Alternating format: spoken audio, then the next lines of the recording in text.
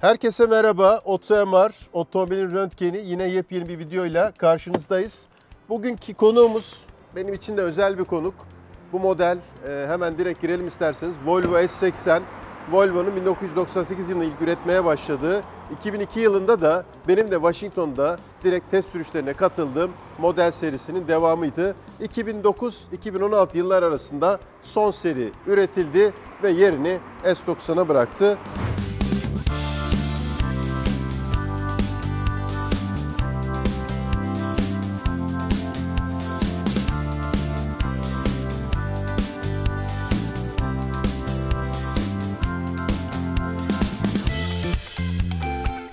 Modelin özelliği premium sınıftaki Alman rakiplerinin içerisinde bir İsveçli olarak, çeliğiyle ünlü İsveçli olarak biraz da ağırdır diğer modellere göre.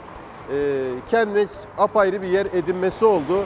Özellikle 1.6 litrelik motor serisiyle Türkiye'de satışlarda öne çıktı. Hemen satışların dağılımını hızlıca vermeye çalışayım. Satışların %79-80'i dizel motordan oldu.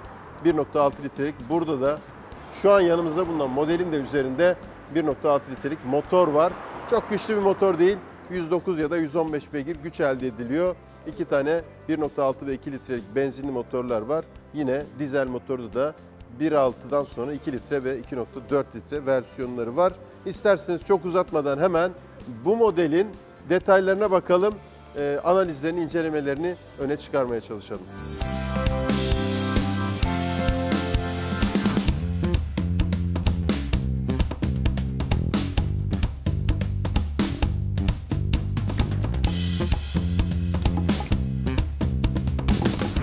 Bu otomobille ilgili gerçekten saatlerce konuşabilirim. Sevdiğim bir modeldir. Ama biz hemen konumuza geçmeye başlayalım. Bugüne kadar 1 milyondan fazla otomobilin e, incelemesini yapmış, ekspertizini yapmış Umranto Ekspertiz'in datalarında, verilerinde 7000'e yakın Volvo otomobil var. SUV'ler de vardır tabii bunun içerisinde. Otomobil derken sadece otomobiller değil, otomobil ve SUV'ler. E, bunlardan 4250 tanesi S60 ve S80 modellerine ait. 463 tanesi de yanımızda bulunan son seri S80 ile ilgili veriler. Bakalım bu verilerde neler var?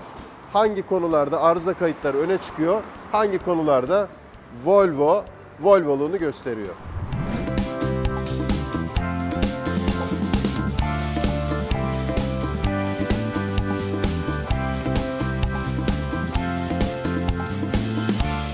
Premium bir otomobil haliyle 4.8 metreden daha uzun bir otomobil olunca altta da biraz uzun bir yol almamız gerekiyor. Şaka bir tarafa bu otomobilin e, özellikle motordan kaynaklı bazı arıza kayıtları var. Size de yüksek gelecektir.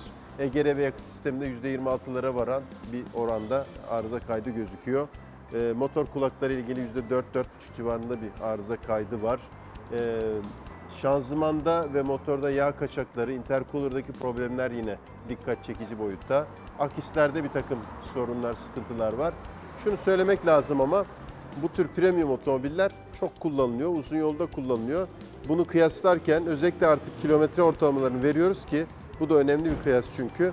Ee, bunu kıyaslarken hani çok yol yapmış otomobillerle az yol yapmış otomobilleri ayrı ayrı değerlendirmek gerekiyor. O yüzden Özellikle bu modelde üzerinde bulunan motor da o motor olduğu için özellikle söyledim. 1.6 litrelik dizel motor biraz yetersiz kalan bir motor. Onun dışındaki geri kalan kısımlar özellikle güvenlik ekipmanları vesaire oldukça üst düzeyde varlığını korumaya devam ediyor. Korunabilmiş, e, deform olmamış e, ekipmanlar olarak öne çıkıyor.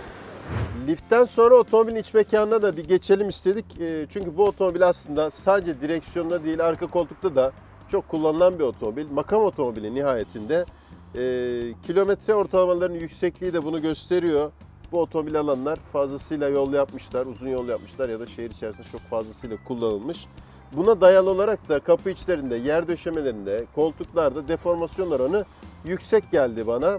Deri olmasının da etkisi oluyor biliyorsunuz. Çabuk bozulabiliyor deri kısımlarla ilgili. Onun ötesinde teknik alanlara baktığımızda direksiyon sisteminde %2.2 civarında bir arıza kaydı var. Gösterge panelinde %3,5 civarında bir arıza kaydı var. İç mekanda olmamıza rağmen dıştan söyleyebileceğim bir başka detay da süspansiyon sisteminin oldukça iyi olması.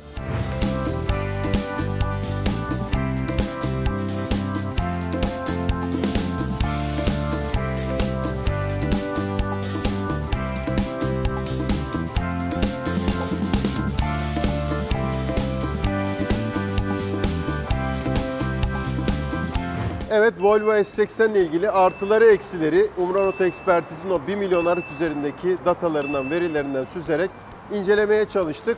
S80 hala özellikle motoru ile ilgili konuştuk zaten. Onun dışında sağlamlığıyla, dayanıklılığıyla, güvenliğiyle, konforuyla premium rakiplerin içerisinde ikinci elde de tercih edilmeye devam edilebilecek bir model. Sonuçlar da her ne kadar motora dayalı veriler biraz yüksek çıkmış olsa da bunu göstermeye devam ediyor. Böylece bölümün sonuna geldik. Eğer kanalımıza abone olmadıysanız abone olmayı lütfen unutmayın. Yorumlara katılmayı ve beğenmeyi de ihmal etmeyin.